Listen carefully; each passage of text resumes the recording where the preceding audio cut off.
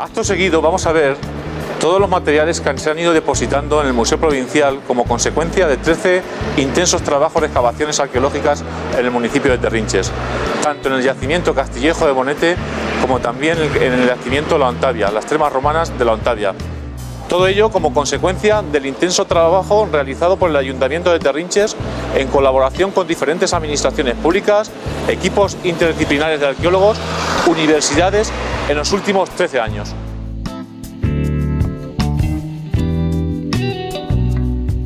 Estamos en el yacimiento romano de la Ontavia. Eh, tenemos por un lado lo que es el complejo termal de más de 340 metros cuadrados y en la actualidad lo que estamos tratando de delimitar e investigar es una, estructura habitacional, una casa completa de, época romana.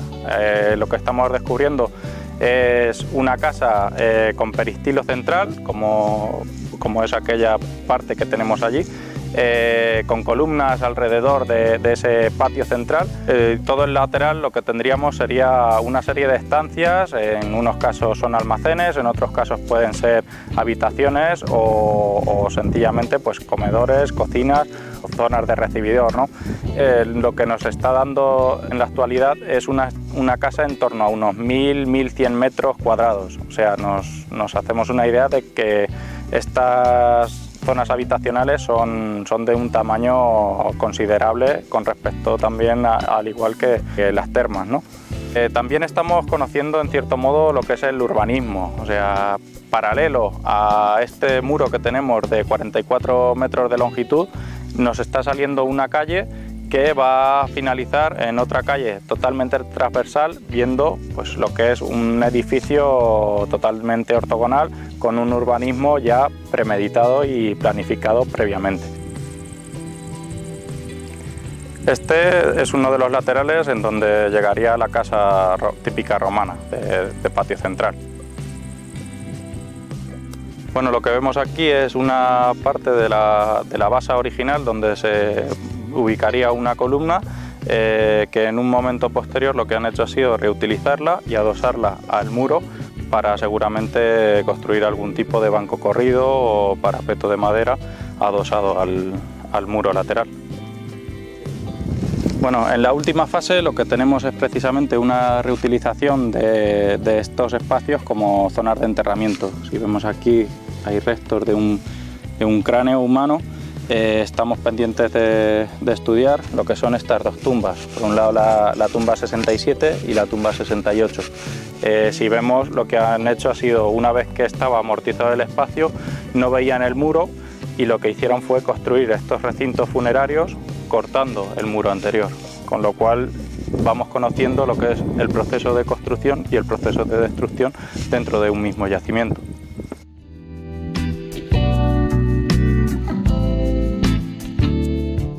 En este lugar hemos encontrado un edificio muy grande, con unos muros muy anchos, con un eje longitudinal eh, que casi llega a los 20 metros y que está separado del eh, grueso, del cuerpo principal, de los túmulos conectados por corredores. Es un edificio que todavía está en proceso de excavación, como veis, y que de momento la verdad no hay paralelos, no tenemos muy claro cuál es la actividad que se desarrolló aquí. Estamos investigándolo y cuando terminemos eh, pues podremos dar una explicación eh, satisfactoria. Lo que tenemos detrás de nosotros, para que nos hagamos una idea, esta es la zona nueva donde hemos encontrado el individuo, es la tumba 7, el individuo metido en un corredor nuevo, el corredor 3, y para que os hagáis una idea clara de lo que estamos hablando, lo que tendríamos detrás es el túmulo principal, que está justo encima de, una cueva natural, de una sima, en donde ellos, para asociarse eh, de otros túmulos secundarios, eh, lo que hacen es construir estos corredores que llamamos, que conectan los túmulos secundarios con el túmulo principal. Por eso nosotros en Castillejo del Bonete hablamos de un complejo tumular no hablamos de un único túmulo, porque hay distintos túmulos que se conectan por medio de grandes corredores con el túmulo principal, que es el, que tiene la, cueva debajo, que es lo que estructura todo el resto del yacimiento. Una de las cuestiones que hemos descubierto importantes de Castillejo del Bonete es que hay varias de sus construcciones, de sus muros, que estaban orientados astronómicamente, concretamente a varios eventos eh, que a lo largo del año sucedían en, aquel momento, hace 4.000 años. Eh, el caso de, este corredor es que está orientado astronómicamente al equinoccio, eh, mientras que la Peña del Cambrón, que es la meseta que tengo a mis espaldas, el, sol sale por la mitad de esa especie de gran altar eh, natural o gran mesa eh, natural. Es un conjunto de orientaciones astronómicas eh, que el Instituto Astrofísico de Canarias y la Universidad de La Laguna nos han certificado que bueno, pues todo, todo el, monumento miraba al cielo, a la vez que eh, a, la, tierra, porque sabéis que tenemos una cueva bajo nuestros pies, en la que ellos pues, eh, pintaron, hicieron arte, grabados y pinturas rupestres, hicieron ceremonias vinculadas con el muerto y con el, inframundo, naturalmente, con el mundo subterráneo. Después de ver Castillejo del Bonete, lo que vamos a hacer es bajar al lugar donde hacemos el trabajo de laboratorio y comprobar cómo inventariamos, eh, procesamos el material antes de llevarlo al Museo de Ciudad Real. Vamos para allá.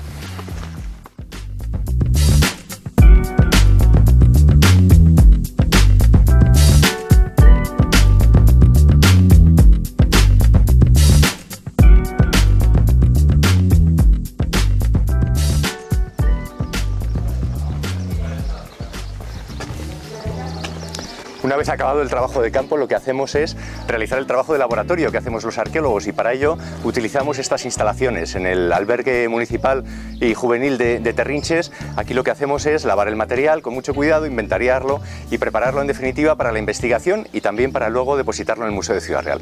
Acompañadnos y vednos trabajar. Hola, buenos días, ¿cómo estamos? Alberto, ¿qué tal va eso? ¿Cómo vas? Sí.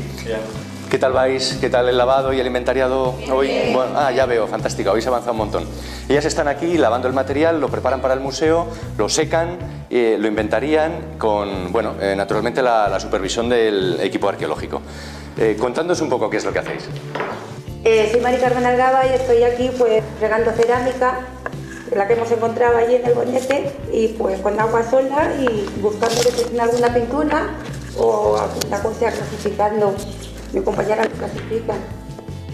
Soy Antonia Cano, junto con Mari Carmen estamos lavando y clasificando así, por si vemos algún borde, ya se lo decimos aparte.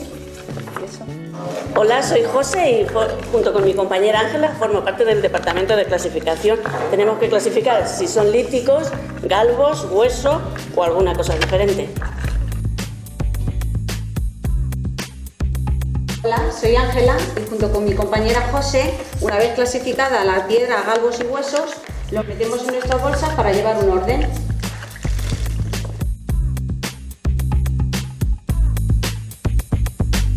Soy Milagros, eh, lo que hago yo es las piezas que me dan mis compañeras, eh, meterlas en una bolsa, clasificarlas y ya en el inventario colocarlo todo en orden. Me llamo Pilar y yo a lo que me dedico es al triado del material que hemos sacado de la cueva para buscar los huesecitos de ratón que nos pueden dar mucha información. Muy bien lavado, sí. Esto es un ratoncito. Un ratón, ya le había dicho yo, digo, una, porque tiene los dientes así muy pequeñitos. Sí. Muy bien. Bueno, eh, después de hacer todo el proceso de clasificación y demás, lo que realmente vamos haciendo es asignar un número de pieza a, a cada elemento que nos va saliendo para saber de dónde, de dónde es su procedencia, incluso con las coordenadas UTM. De hecho, bueno, aquí tenemos algunas piezas de clasificación, por ejemplo, cerámica.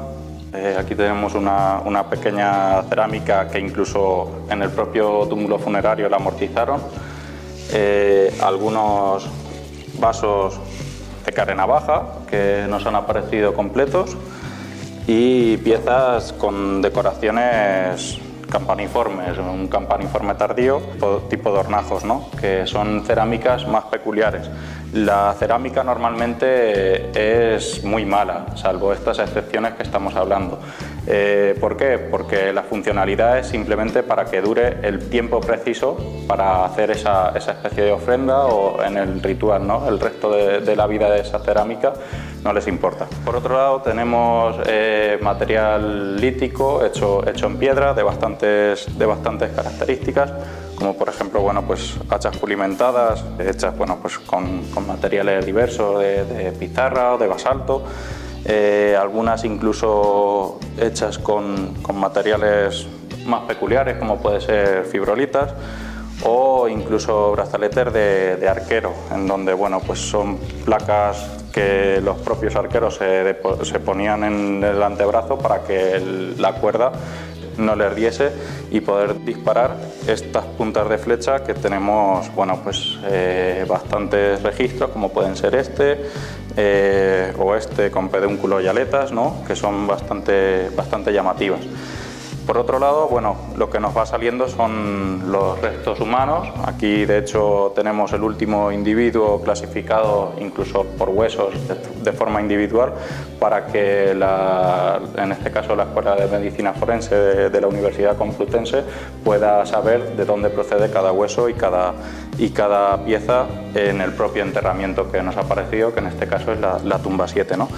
Esta tumba fue curioso, bueno, no es la real, pero sí que nos podemos hacer una idea que apareció asociada a lo que es una defensa de, ciervo, ¿no? Eh, es un método, bueno, pues de ofrenda con carácter ritual y está relacionado pues a, personajes importantes. No solo apareció la cuerna, sino que también aparecieron elementos cerámicos y alguna, alguna pieza lítica. Es una punta de flecha. De, la llamamos Palmela porque es una ciudad portuguesa en la que han aparecido esta clase de flechas y aparecen muchas aquí en Castillejo del Bonete. Sí, eso también es un pequeño puñalito. Esto es un punzón, ¿no? Es un punzón, sí, sí. Me gustaría haceros una pregunta, eh, yo ahora a vosotras, y es si ¿qué, valor le dais a esto que estamos haciendo. Trabajar en campo es duro, la tierra está dura, eh, hace sol, esto hay que tener mucha atención, hay que ser meticuloso y detallado para que luego todo vaya al, museo de, de Ciudad Real. ¿Creéis ¿Creéis que este trabajo que desarrolláis vosotras eh, tiene valor, tiene interés? Me gustaría conocer vuestra opinión. Yo veo que es un trabajo muy interesante, lo único que había que trabajar más, ¿sabes? Porque hay mucho material que tendríamos que descubrir. o sea, tú has trabajado en otras campañas, ¿verdad? Sí, yo estuve el año pasado, el mes de agosto, en el Castillejo del Bonete. Con él descubrimos el punzón y varias cosas. Cuéntame, ¿por qué crees, tú, tú crees que esto realmente podría evitarse, no merece la pena hacer este tipo de trabajos? O... No, no, que va. Porque es valioso. al contrario, merece la pena hacerlo porque es muy interesante, descubrimos muchas cosas. Y aparte yo estuve hace cinco años en otra ocasión trabajando y ayudé también a las restauradoras y ahora pues me dedico a excavar con mis compañeras y sacar, intentamos sacar cosas buenas cada vez mejor. Sí. ¿Y por qué tiene esto interés para Terrinches? Pues porque da nombre al pueblo y se conoce, por ejemplo, hasta en Estados Unidos, eh, en el periódico, por ejemplo, salió una noticia que, que habían venido o querían venir eh, arqueólogos de Estados Unidos y de otros países. Luego, eh, por ejemplo, el año pasado se descubrió esta punta de flecha, entre otras cosas, en la campaña que trabajó mi hijo, por ejemplo. Muy bien, sí. ¿Cuál es tu opinión? Es bien para el pueblo, nos da trabajo, luego además es muy interesante y ir sacando cosas y, ver a ver si podemos sacar el mosaico, que es muy interesante, pero no sabemos si lo encontraremos. Y, nada, pues que es bien para el pueblo. Sí, gracias, sí, sí. ¿Y tu opinión? Pues a mí me parece estupendo esto de, de poder eh, aprender tantísimas cosas y encima estar ayudando económicamente a tu familia, a tu casa y vamos, lo a gusto que, que estamos sintiéndonos ahí, que estamos haciendo algo que merece la pena. Sí. Donde estamos ahora tenemos dos columnas, estamos sacando unos muros, hemos sacado lo que es la calle, o sea, es estupendo. ¿Cómo estaba la Ontavia antes, el yacimiento este? Muy bueno, allí antes estaban, yo antes estuve hace unos 8 o 9 años en un turno, se nos metían las vacas allí, nos quitaban la merienda, fíjate, nos lo pisaban todo, rompían muros y fatal, fatal. ¿Y en este momento? Pues ahí esa maravilla, está todo vallado, han puesto un puentecillo para poder entrar, que antes cuando llovía para cruzar el rollo tela. Y vamos, estupendo, maravilloso. Y todo lo que hay excavado allí, las termas, que es estupendo. Hacerte una foto con las termas, nada más que por eso merece la pena ir allí, para hacerte una foto en las termas. ¿Sabéis si viene gente al lugar? Sí, yo por lo menos a todos mis amigos y a todos me los llevo allí porque, vamos, no los dejo que se vayan de Terrinche sin, sin las termas. El bonete no, menos, pero las termas, una maravilla. Muy bien. ¿Y cuál es tu opinión sobre este tipo de trabajo? ¿Merece la pena ser realizado o no? Pues claro que debe de ser realizado porque allí se encuentran muchas cosas. También estuve en una campaña hace un año y encontramos también unas cuentas verdes, un collar. Muy bien. ¿Tenéis algún inconveniente en que este material acabe, por otra parte lo dice la ley, en, al- se vaya al Museo Provincial o creéis que es interesante que material de Terrinches esté en, en la- en unas vitrinas y en un sitio importante de- del Museo Provincial de Ciudad Real? Pues hombre, claro, lo suyo que esté, que esté allí. Muy bien. Quería haceros una última pregunta. Aquí antes de empezar a trabajar los arqueólogos, hace 10 años, los yacimientos, eh, tanto Lantavia como Castillejo del Bonete, tenían agujeros de, de furtivos, había tumbas expoliadas, la gente venía y se llevaba las cosas. Me gustaría conocer vuestra opinión sobre, bueno, eh, qué opináis eh, si va gente a los yacimientos y se lleva cosas, si eso sigue sucediendo en este momento y cómo veis vosotros que cualquiera del pueblo coja y como es- son yacimientos del pueblo, coja, se lo lleve y luego pues, pues lo venda. ¿Cuál es vuestra opinión sobre No, esto? ya no viene nadie a coger cosas porque la misma gente del pueblo nos encargamos de que, de que no vengan ahí a, a romper nada ni a, a romper información. Sí, eh, sois conscientes de que se pierde información Por cuando... supuesto. Sí, ahora con el trabajo que se ha hecho, ¿no? De que se, are- se aren los yacimientos encima de los yacimientos, ¿esto cómo, cómo lo veis? Pues fatal. Está mal. Fatal porque destruye todo lo que hay debajo de la tierra, que por encima no se ve, claro, pero por debajo es que hay tesoros, dijéramos así. Entonces lo van destruyendo, con los araos levantan piezas, muros, de todo lo que hay lo destruyen. ¿Qué creéis que se debería hacer en este caso? Pues proteger eso y guardar unas lindes, unos metros, para que la gente no se, no se apegue ahí y eso quede protegido, solo para los profesionales, los que vayan a excavar. Bien, estupendo, gracias. Uno de los trabajos fundamentales en el campo es realizar los dibujos de campo, precisamente para que quede todo bien documentado eh, allí donde aparece. Y bueno, pues esos dibujos de campo luego se transforman digitalmente y se presentan para publicaciones científicas o mostrar en salas museográficas. Eh, es muy interesante en los dos yacimientos que estamos trabajando en Terrinches cómo los dibujos de campo y las propias que reflejan las propias estructuras de los yacimientos ya demuestran una evolución en las arquitecturas. Por ejemplo, en la Ontavia tenemos muros claramente rectilíneos, eh, tenemos muros de muchas decenas de metros, hasta 46 metros es el muro más eh, largo más que, hemos encontrado. Y son eh, estructuras, construcciones, habitaciones ortogonales, rectangulares, y sin embargo, en Castillejo del Bonete, que es mucho anterior a la época romana, que es la Ontavia, Castillejo del Bonete es de la Edad del Bronce, lo que tenemos es un túmulo que es en realidad un amontonamiento de piedras con algunas estructuras eh, circulares o depósitos rituales en los que ellos depositaban sus ofrendas, pero hay, eh, digamos, una, una arquitectura mucho más incipiente porque es eh, prácticamente 2000 años antes que las que tenemos en la Ontavia. Y esto se refleja en los eh, que queda claramente re- reflejado y se ve tanto en los yacimientos pero luego también para quien no pueda venir a los yacimientos se ve en los dibujos. Esta es una planimetría de, de del Bonete y esta es una romana de la Ontavia. La anterior era de la del bronce y esta es de época romana. Una vez trabajados los materiales, es el momento de llevarlos al Museo de Ciudad Real, bien inventariados, limpios, procesados. Vamos al museo.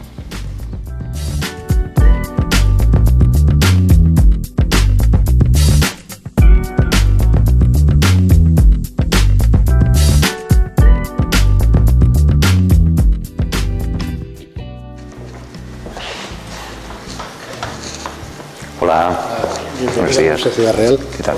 Hola, Esther. bienvenido. Bueno, pues vamos a- hacia adentro. Está vuestra casa.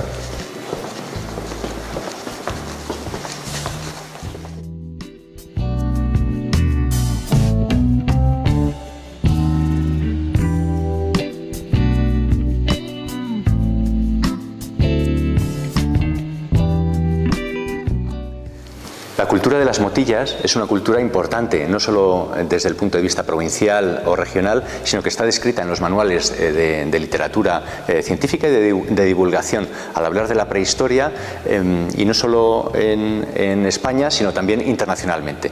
Y como es algo que sucede sobre todo en la provincia de Ciudad Real, también el sur de la provincia de Toledo y un poco el oeste de la provincia de Albacete, eh, pues el Museo de Ciudad Real es el que, de la Junta de Comunidades de Castilla-La Mancha, el que dedica más espacio expositivo a explicar esta cultura de las motillas y la edad del bronce. Em, eh, lo que tenemos a nuestras espaldas son unas estelas de guerrero. En estas estelas de guerrero eh, es interesante porque aparecen eh, materiales de esta edad del bronce dibujados, como por ejemplo unas espadas o unos cascos de cuernos, o aparecen también escudos, pero vamos a ver qué hay en esta sala.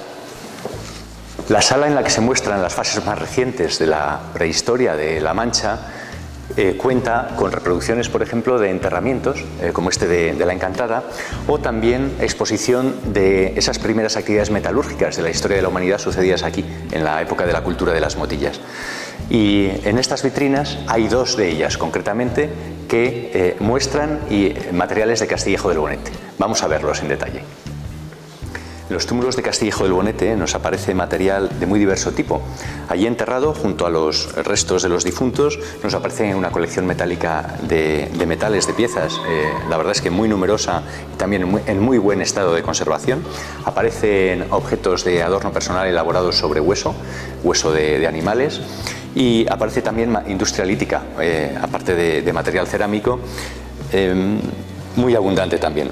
Por ejemplo, tenemos este tipo de, puntas de flecha, las llamamos puntas de flecha de tipo palmela porque eh, bueno, pues tienen esta forma peculiar, obedecen eh, y responden a, una época muy concreta de la historia de la humanidad. Tenemos también ese tipo de agujas eh, muy apuntadas en un excelente estado de conservación y que hoy todavía eh, podrían ser plenamente funcionales, son, son operativas. Y tenemos eh, cinceles de sección no como las agujas circular, sino en este caso eh, cuadrangular. Quiero llamar la atención sobre esta punta de flecha de tipo palmela también, que tiene el pedúnculo doblado, porque nos apareció en una tumba, no metida dentro de la tumba, sino encima de una hoguera que está sellando la, tierra con la que enterraron a los muertos. Es decir, encienden una hoguera encima de los difuntos y a esa hoguera lanzan esta punta de flecha, la lanzan o la, clavan. Y en ese acto de depositar con, fuerza la punta de flecha, lo que hacen es doblarle el, pedúnculo, que es eh, la parte en la que se mangaba el, astil. Eh, nos apareció en las cenizas de, esa hoguera que estaba encima del nivel de tierra que estaba sellando la tumba 4 concretamente. Tenemos también en Castillejo del Bonete adornos personales como estos incisivos de cérvido que eh, probablemente son colgantes, colgantes eh, para, de, adorno personal.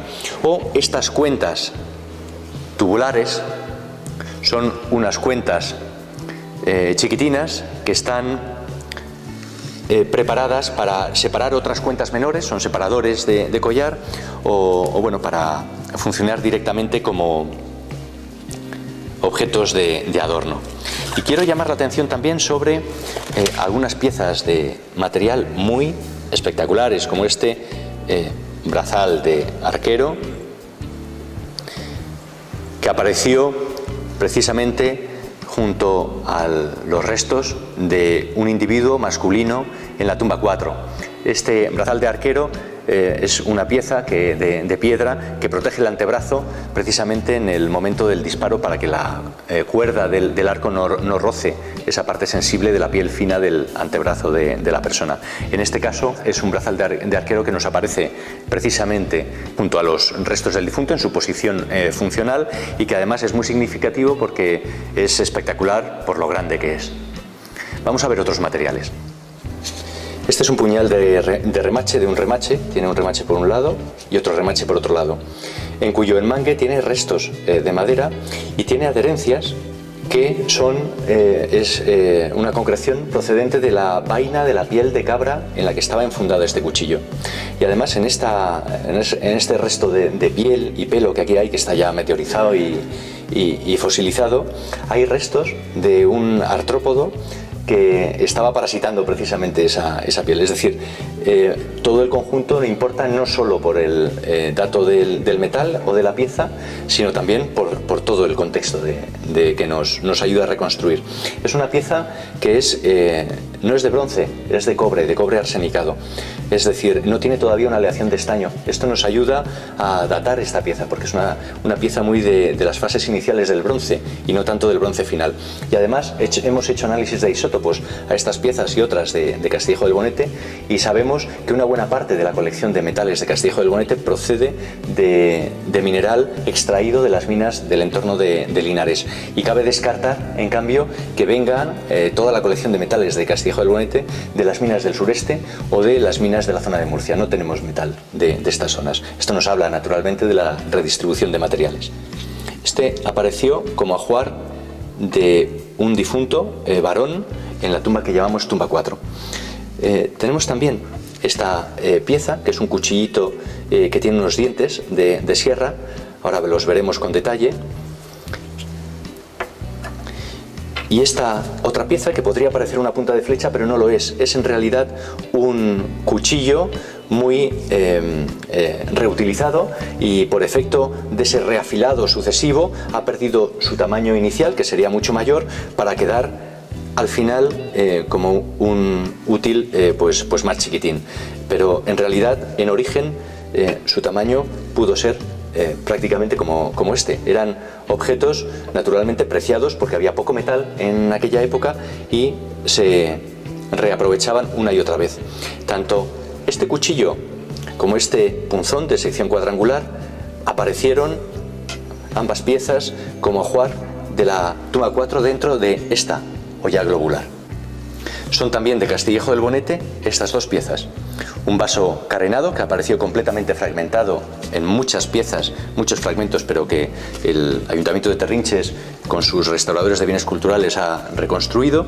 Y también esta eh, pieza con dos mamelones que eh, apareció dentro de, la cueva rodada eh, y fuera de su contexto original. No así esta pieza y esta pieza, que son ajuares los dos de la tumba 4 de unos individuos que fueron enterrados y, y que, bueno, en principio los, son recipientes que a excepción de, estas, eh, material, de estos materiales metálicos fueron depositados vacíos. El mero objeto de, del eh, cerámico fue ya una, un objeto de ajuar. Es muy interesante esta pieza. Esta pieza es un botón de marfil. Un botón de marfil con perforación en V, como las que hoy llevan algunos abrigos, eh, ¿verdad? Eh, todavía. Esta pieza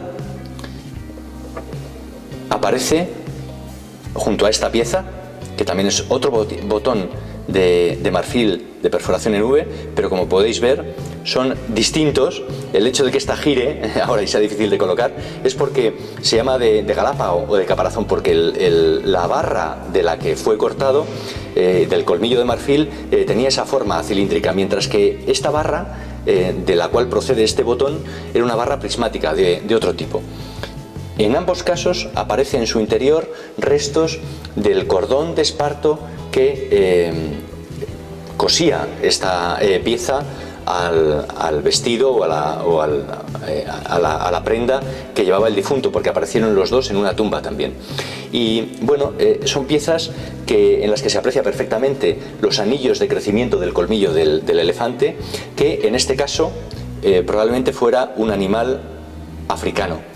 No había en época de, de, la vida de uso de Castillejo del Bonete eh, elefantes en la península ibérica y son otros materiales que nos hablan de eh, tránsito, en este caso no solo interregional, sino intercontinental incluso.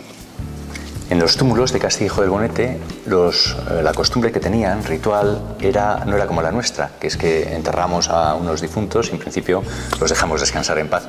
En este caso, volvían recurrentemente a los túmulos, al yacimiento, para probablemente eh, momentos significados vinculados con unos eh, eventos astronómicos, quizás en los solsticios, seguro, porque tenemos corredores orientados al sol, pues volvían al lugar a mover los huesos de los muertos. Es decir, primero enterraban a los muertos en, en unos sitios, a partir de ahí cuando estaban desescarnados, descarnados y esqueletizados, cogían esos huesos y los llevaban a otros lugares, sobre todo, pero no eran muy, muy meticulosos con esto, cogían sobre todo los huesos grandes, los huesos largos, los cráneos y no todos los huesos los recogían. En este caso concreto al que me voy a referir ahora, nos encontramos eh, con algunos huesos pequeños de, diversos individuos, además, eh, como por ejemplo son falanges o son vértebras o algunas costillas, son huesos que se ven, o sea que no son, eh, ¿verdad?, casi invisibles, no se ven, pero los dejaron allí, no tenían voluntad de coger todos los huesos, sino solo los más significativos. Y junto con esos huesos que dejan, Dejan también algunos objetos que se les pasan porque son prácticamente, estos sí, invisibles eh, a no ser, a, no ser que, que, cribes el material, como nosotros hacemos, ¿verdad? Eh, al cribar el material de esta acumulación de huesos, nos encontramos concretamente estas eh, cuentas de collar.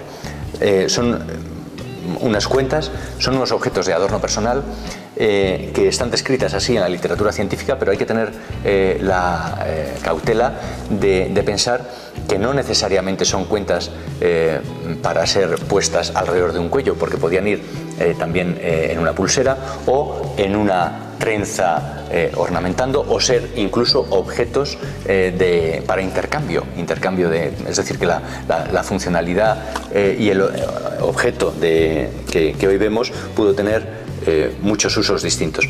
Pero es significativo que son, eh, aparecen muchas cuentas y además nos aparecen de muy diversas procedencias. Nos aparecen de lugares distintos de la península ibérica que también nos dicen que son materiales que llegan y se entierran y se dejan ya para siempre en Castillejo del Bonete, pero en este caso proceden de unas minas de Zamora y eh, de, algunos otros, de algunas otras minas que aún no han, no han sido descubiertas de la península ibérica también. Son cuentas, como veis, muy, muy pequeñas. Hemos hecho análisis de rayos X y hoy sabemos por esta difracción, difracción de rayos X que son varistitas. Antes estaban descritas en la literatura simplemente como piedras verdes. Hoy sabemos que son varistita, concretamente. Los arqueólogos tenemos como misión fundamental no recuperar objetos. Esta es la visión de la arqueología pues a finales del siglo XIX, principios del siglo XX, que pues se iba a, Egipto, se cogía un obelisco y se llevaba a la plaza de París, o se iba a los templos de, de Atenas, se cogían el frontispicio del Partenón y se llevaba a los museos, grandes museos europeos. En este momento la visión de la arqueología es otra. Lo que debemos hacer los arqueólogos es proporcionar las herramientas eh, basadas en una sólida investigación científica para producir discursos que permitan a la gente ser eh, más culta, eh, más libre y entender por qué venimos y hemos llegado al lugar en el que nos encontramos hoy. En ese sentido, el Museo de Ciudad Real es un museo que, en este momento eh, proporciona esa función social, esa función social que perfecciona el trabajo eh, de campo y eh, ayuda a proyectar a la sociedad el discurso, los conocimientos que los arqueólogos obtenemos. Invito a la gente que nos escucha y nos ve a ver los materiales de Terrinches y todos los que muestra el Museo de Ciudad Real porque realmente es un museo que merece la pena.